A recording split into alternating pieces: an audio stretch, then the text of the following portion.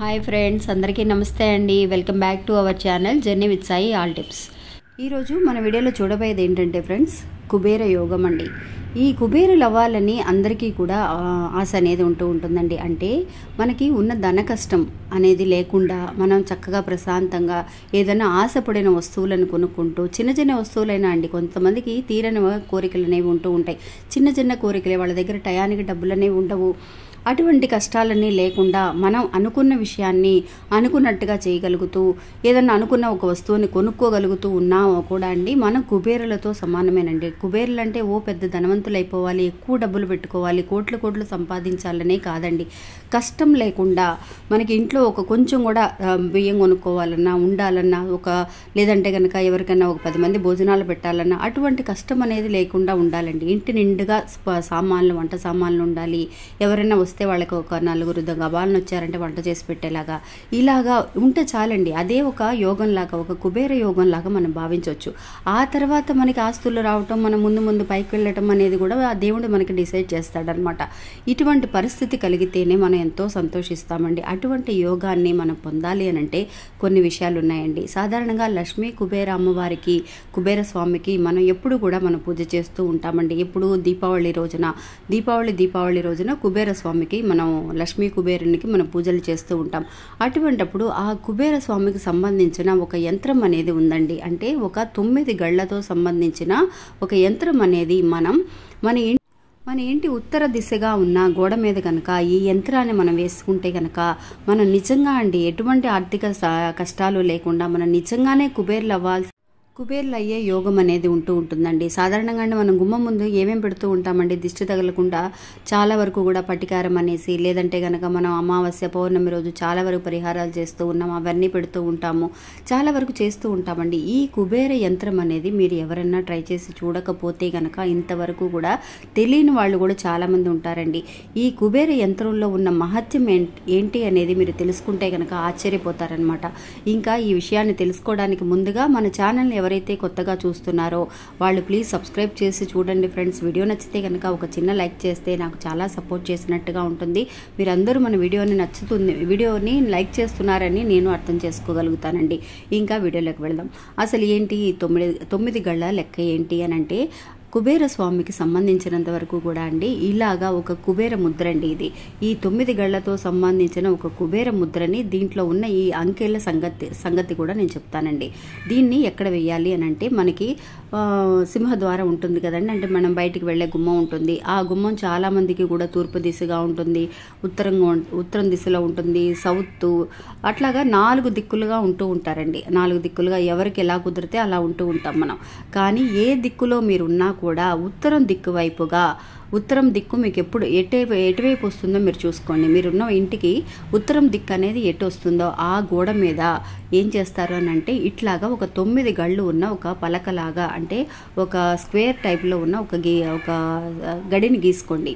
అంటే నాలుగు పలకలుగా గీసుకోండి. దాంట్లో ఇలా తొమ్మిది గళ్ళు వచ్చేటట్టుగా గీసుకోండి ఫ్రెండ్స్. ఇది నేను మీకు గీసి చూపిస్తున్నాను అనమాట ఇది చూపించడం కాదండి. నేను కూడా మన ఇంటి దగ్గర బయటికి ఒక ఉత్తరం దిశగా చూస్తున్నట్టుగా గోడ మీద ఉన్న ఒక నెంబర్ అండి ఇది. నెంబర్ అనే కంటే మన కుబేర యంత్రం అని చెప్పొచ్చు. నిజంగా అండి చాలా వరకు ప్రయోజనాలండి. చాలా వరకు వ్యత్యాసం అనేది నాకు ఆర్థిక ఇబ్బంది నుంచి బయటపడడం కానివ్వండి ఒక డబ్బులు మనకు ఒక సమస్య ఉంది అని అనుకున్నప్పుడు టైంకు మన చేతికి అందడం కానివ్వండి చాలా వరకు ప్రాబ్లమ్స్ అన్నీ కూడా అండి.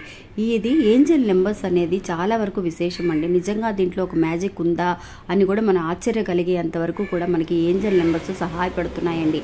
అందువల్లే మనం ఎప్పుడు కూడా యూనివర్స్కి ఒక థ్యాంక్స్ చెప్తూ ఉండాలండి.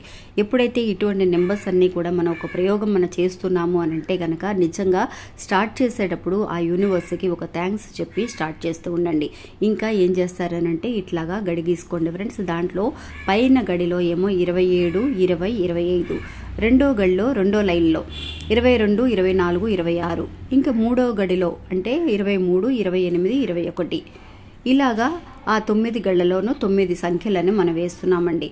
ఈ తొమ్మిది సంఖ్యల విశేషం ఏంటి అని అంటే ఈ తొమ్మిది సంఖ్యలు కూడా మీరు ఎట్నుంచి కూడినా కూడా పైనుంచి కూడినా కూడా ఆ మూడు ఇరవై ఏడు ఇరవై ఇరవై ఐదు ఉంది కదండి ఆ మూడు కూడినా కూడా మీకు డెబ్బై రెండు అనే అంకె వస్తుందండి. ఆ రెండో లైన్ ఆ మూడు నెంబర్లు కూడ నెంబర్లనే కూడినా కూడా డెబ్బై రెండే వస్తుంది. అలాగే కింద ఉన్న మూడు నెంబర్లనే కూడినా కూడా డెబ్బై రెండే వస్తుంది. డెబ్బై రెండు అంటే ఏంటండి? తొమ్మిది సంఖ్యతో సమానం. డెబ్బై రెండు అంటే ఏడు ప్లస్ రెండు అంటే తొమ్మిది. తొమ్మిది అనేది నేను ఇంతకు ముందు కూడా ఒక వీడియోలో చెప్పాను చూసారండి ఏ పని చేసినా కూడా మన పుట్టిన డేట్ల దగ్గర నుంచి కానివ్వండి ఇంక ఏదైనా కూడా అండి అన్నీ కూడా తొమ్మిది నవగ్రహాలతో తొమ్మిది అనే సంఖ్యతో ముడిపడి ఉంటాయండి. తొమ్మిది అనే సంఖ్యకి చాలా వరకు ఇంపార్టెన్స్ ఉందని కూడా మనం ఒక వీడియోలో చెప్పాము. అది ఏంటి అని అంటే మీరు ఇంకా అడ్డంగా ఇరవై ఏడు ఇరవై ఇరవై ఐదు కూడితే డెబ్బై రెండు మట్టుకి రావటమే కాదండి. నిలువుగా కూడా కూడి చూడండి ఫ్రెండ్స్. నిలువుగా అంటే ఇరవై ఏడు ఇరవై రెండు ఇరవై మూడు ఇరవై ఇరవై నాలుగు ఇరవై ఎనిమిది ఇరవై ఐదు ఇరవై ఆరు ఇరవై ఒకటి ఇలా కూడా కూడి చూసినా కూడా మీకు ఒక్కొక్క లైన్కి ఇరవై ఏడు ఇరవై రెండు ఇరవై మూడు కూడితే డెబ్బై రెండు వస్తుంది. మీరు పక్కన ఉన్న రెండో లైను రెండో లైన్లో కూడినా కూడా నిలువుగా కూడినా కూడా ఇరవై ఇరవై నాలుగు ఇరవై ఎనిమిది కూడినా కూడా డెబ్బై రెండే వస్తుంది. మీరు ఎటు నుంచి ఎటు కూడినా కూడా మీకు డెబ్బై రెండే వస్తుందండి. అంతేకాకుండా మీరు క్రాస్గా కూడా కూడి చూడండి ఫ్రెండ్స్. మీరు పైనుంచి ఇరవై ఏడు ఇరవై నాలుగు ఇరవై ఒకటి క్రాస్గా ఇలా కూడినా కూడా మీకు డెబ్బై రెండే వస్తుంది. అంటే తొమ్మిదితో సమానం. మీరు అట్నుంచి రైట్ సైడ్ నుంచి కూడి క్రాస్గా కూడినా కూడా మనకి డెబ్బై రెండే వస్తుంది. అంటే ఇరవై ఐదు ఇరవై నాలుగు ఇరవై మూడు. అట్లా క్రాస్గా కూడినా కూడా డెబ్బై రెండే వస్తుందండి. అదే ఒక మ్యాజిక్ అనే చెప్పొచ్చండి. ఈ యంత్రానికి ఉన్న ఒక మంచి ఒక శక్తి అండి. ఎటు నుంచి ఎటు కూడినా కూడా మీకు తొమ్మిది అనే సంఖ్య రావడం మటుకు ఖాయమండి. తొమ్మిది అని అందువల్ల ఈ కుబేర స్వామికి కూడా అండి ఈ యంత్రాన్ని ఈ యంత్రాన్ని గనక మనం ఉత్తర దిశగా ఉన్న గోడ మీద వేసుకుంటే గనక మనం నిజంగా అపర కుబేర్లు అవ్వటం నిశ్చయమని ఊరికే చెప్పలేదండి. ఇది నిజంగా మీరు ట్రై చేసి చూడండి. చాలా పెద్దగా గోడ నిండా వేయాల్సిన అవసరం లేదండి. చిన్నగా ఒక చిన్న డబ్బా వేసుకొని దాంట్లో ఈ నెంబర్స్ వేసుకోండి. మీరు ఎటు చూసినా కూడా మీకు తొమ్మిది అనే సంఖ్య మీకు వస్తుందన్నమాట. అది చే ఒక అది కూడా ఆకుపచ్చ పెన్నుతో వేసుకోండి ఫ్రెండ్స్ చెప్పడం మర్చిపోయాను. ఆకుపచ్చ పెన్ను అనేది ఖచ్చితంగా వాడితే కనుక చాలా మంచిదండి. బ్లూ పెన్ కంటే మీరు ఆకుపచ్చ పెన్నే వాడండి. దేనికైనా సరే మీరు ఏంజల్ నెంబర్స్ మనం చెప్తూ ఉన్నామో దానికి రాసుకోవాలి చేయాలి అని అలాంటి వాటన్నిటికీ కూడా దేనికి వాడినా కూడా ఆకుపచ్చ పెన్నుతో వాడుతూ ఉండండి ఫ్రెండ్స్ మీరు బ్లూ దానితో వాడిన దానికంటే దీనికి డబల్ uh, రెట్టింపు అనేది ప్రయోజనం అనేది ఉంటుంది. గ్రీన్ పెన్నుతో వాడితే కనుక ఇంకా ఇది ఫ్రెండ్స్ ఇది వాడి చూడండి. ప్రయోజనం అనేది మీకు దక్కితే కనుక మీరు కమెంట్స్లో నాకు చెప్పండి. మీ ఫ్రెండ్స్ కూడా షేర్ చేయండి. వాళ్ళందరూ కూడా ప్రయోజనాన్ని పొందుతారు. ఇంకా ఇది ఫ్రెండ్స్ ఈరోజు మన వీడియో అండి. ఈ వీడియో కూడా మీ అందరికీ చాలా ఉపయోగకరంగా ఉంటుంది అనుకుంటున్నాను ఫ్రెండ్స్ నచ్చితే కనుక ఒక చిన్న లైక్ చేసి సపోర్ట్ చేయండి. మళ్ళీ మంచి ఇంకొక వీడియోలో నేను మళ్ళీ కలుస్తానండి. అంతవరకు సెలవు. నమస్తే.